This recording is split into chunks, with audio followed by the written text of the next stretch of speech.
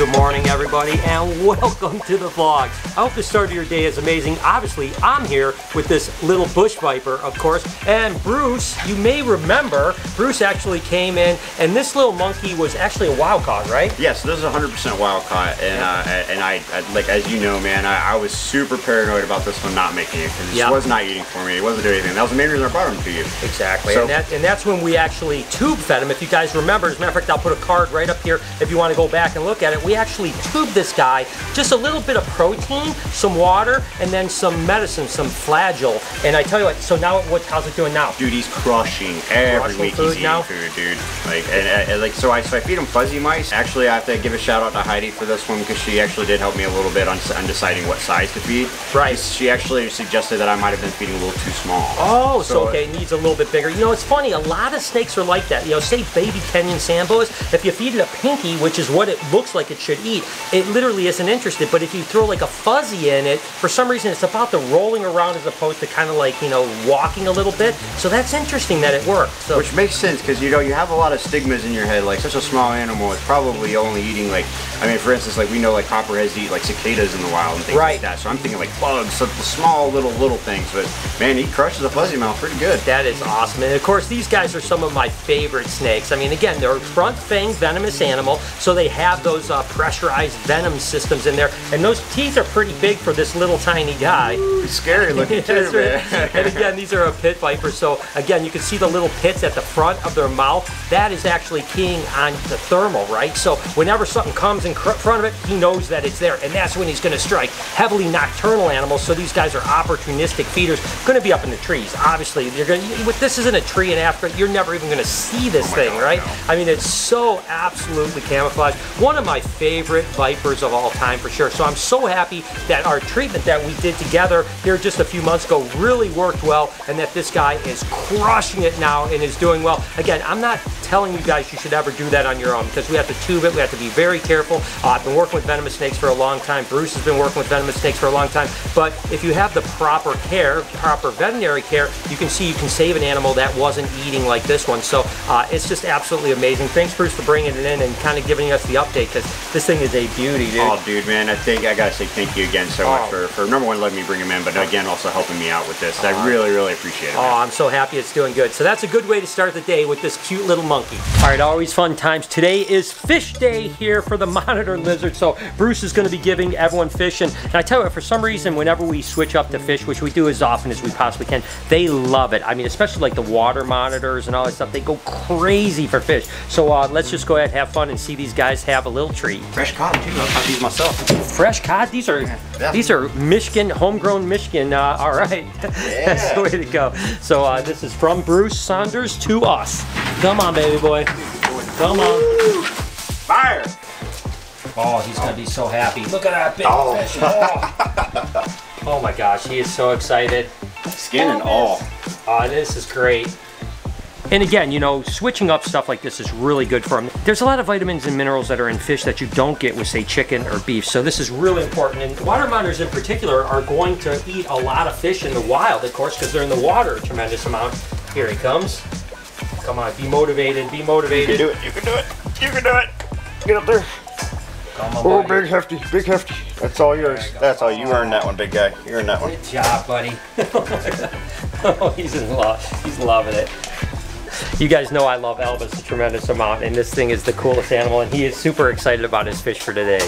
Next up is our girl Obusuku. Again, she loves fish too. Again, Nile monitors, you don't think of being really fish eaters that much in the wild because you know they will eat some fish, but it's not as high of a diet as say the water monitors. But still, Obusuku loves it. So let's go ahead and see what she's got going on.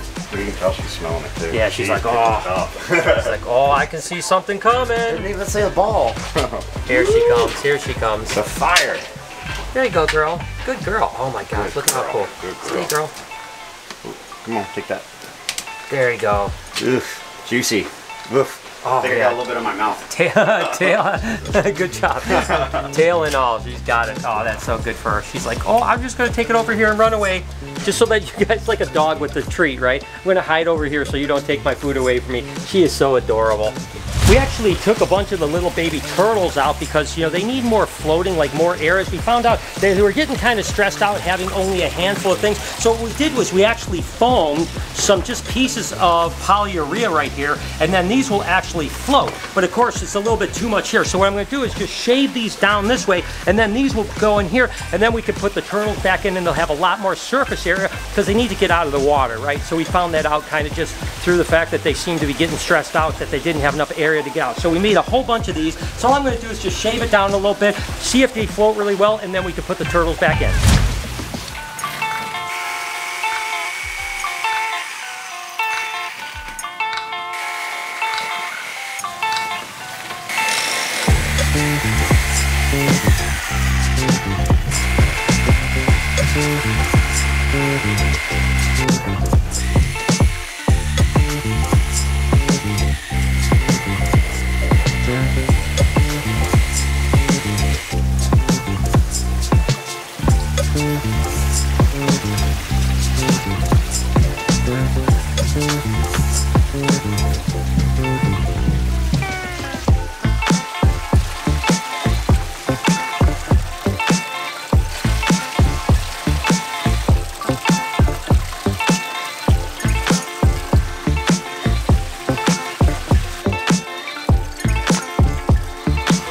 As you can see, they have tons of places now for them to get up on, you know, just kind of the surface because, you know, little babies need to be out of the water a bunch and they just kind of bask. You know, we have the UVB light here. Actually going to add another one. We also have a heater in here to heat the water up. So uh, altogether, the environment should be pretty good for them. Now that they can get out of the water, I think they're going to be a lot happier. And uh, I think that that was a success. And what we'll probably go back is you see how we have some moss on this one right here? We'll probably go back and put some moss on these so it kind of almost looks a little bit more like a natural pond. So uh, just wanted to make sure it worked. And if it's working good in the next couple days, we'll go back and we'll kind of just kind of touch them up and make them look even prettier. What are you doing, you silly monkey?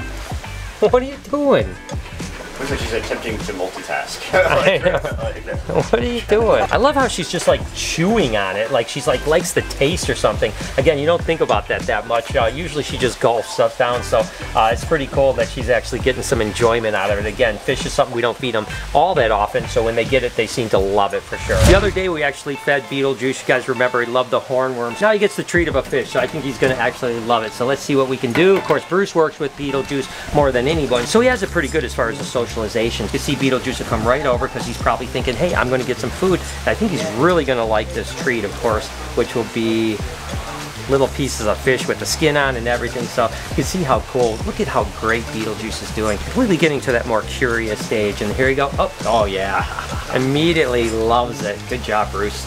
Oh he's definitely God. getting there, isn't he? Dude, he's coming along, and I, am so proud of him too, man. Like I yeah. could, I couldn't be more excited with an animal than this guy.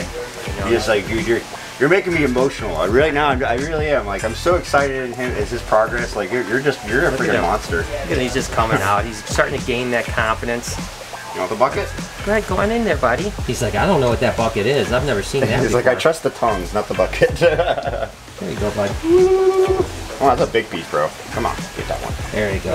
what a good piece. Oh, now he's gonna do the Obusuku and take it away. I'm gonna hide from you guys. Oh, look at him go golf. That. Except oh. he figured it out a lot yeah, better. Obusuku Yeah, oh, Obusuku took a while. He took it took about two. He took about two seconds to figure that one out. Here he comes. He is really motivated. Look at that. Oh, and here he goes. Fall down. You're right, buddy. Awesome, man. Beetlejuice is definitely, you can see how far he's come. Not going to be long before we'll be able to take him out with the public and really interact with him. I, I give it a couple more months and we're going to be there. You know, days like this where we're just kind of having a good time, feeding animals, uh, getting the enjoyment of it. That's It's just the cool part of our job, you know. I mean, we're always cleaning and doing stuff and construction and all kinds of stuff. So the feeding part and, of course, interacting part is the funnest part of all. But uh, we can see a Bowser. He's kind of back in the back there. Might be a little hard to get him over here. Uh, we I know Bowser loves fish, but when he's back there, it's a little hard to coax him over, so we'll do the best we can do. Oh, oh we got him coming, we got him coming. Look at he's on the prowl now. Here he comes, the monster. Oh, that's so cool. He really does love him some fish. Get it, get it, get it, Bowser. And there he goes. He just, after all of that, he just like gently takes it. I mean, this guy does seem to be getting like more and more docile. He doesn't seem to ever strike or anything like that now. And uh, now he'll just go right back into his spot. So that actually was cool, Bruce. I've never seen him coming out like that. Normally, once he's in the back, he's done for the day. So uh, that was cool to see him actually kind of almost hunt, right? Because these guys are ambush hunters. That's why they've got that little tongue and stuff like that. So to see him come for a fish, that was pretty awesome. He was moving. That was that awesome. Was crazy about that. And the last animal that's going to get a little fish treat today, of course, is Baby Kush, the croc monitor. Baby Kush loves loves love fish so this should be really good. And again these are good things not only for a variety and stuff like that but also our opportunity to train stuff. So Bruce will get inside spend some time with baby Kush kind of desensitizing socializing stuff like that. So already baby Kush looks like uh, he's looking like hey what's going on? I'm about to get fed aren't I? I want him to come right here so oh he's gonna come over there? all right cool. try to. Come on baby Kush here he comes. He's ball trained obviously really well. So he's targeted on that red ball. You can see he's coming down for sure. We're going to try to get him all the way down to the bottom here. And it looks like it's going to be pretty easy. Oh yeah, he's all over it. Oh, he got the ball now. Let go. Let go, buddy. Throw the ball. There go. There we go. Velociraptor's almost out of the cage. Here. It's almost on the paddock. Clever girl. Clever girl. and look at that. That animal has no problem scarfing that down like nothing. Look at that. All right. Definitely coming a long way. Listen, we've got a long way to go still with Baby Kush because the penalty is so bad if you get bitten. But you can see he's definitely come a long way. He's not upset. He's not nervous around us. Can come right up to us. He's just focused on feeding and right here at the front of the cage. Again, a couple months ago, this would have been impossible to do. So uh, definitely getting much closer. And Bruce is spending some time in with Baby Kush too. And it's coming up right and like climbing up his leg and stuff like that. So we're getting there. Slowly but surely, we'll get there. Eventually, this is going to be a dragon that we're going to have tamed. I can promise you that.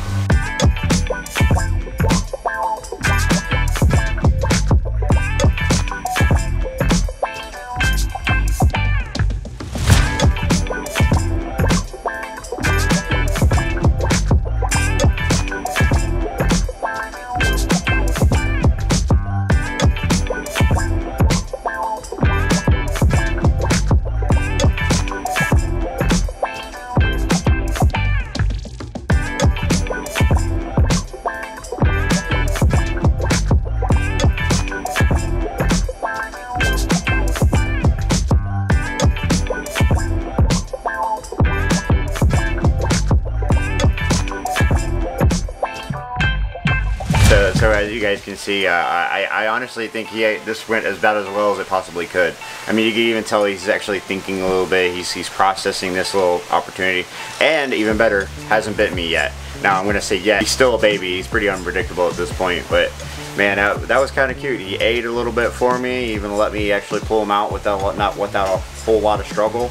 And uh, man, he's just cute as a button too. So I'm happy to see that that bush viper is actually on the mend, doing well and stuff like that. It only took one treatment, which I was super happy about. If you enjoyed this video, do me a favor. Here's a playlist of a bunch of really cool reptiles. If you could just even click one or two of those, really helps the channel a tremendous amount, and I appreciate that. Up here, you can subscribe to my podcast channel that we do a few times a week. Over here, we're getting close to 3 million, so please subscribe to this channel and turn your post notifications on. Have an absolutely wonderful day. Remember, be kind to someone, and I promise I'll see you tomorrow.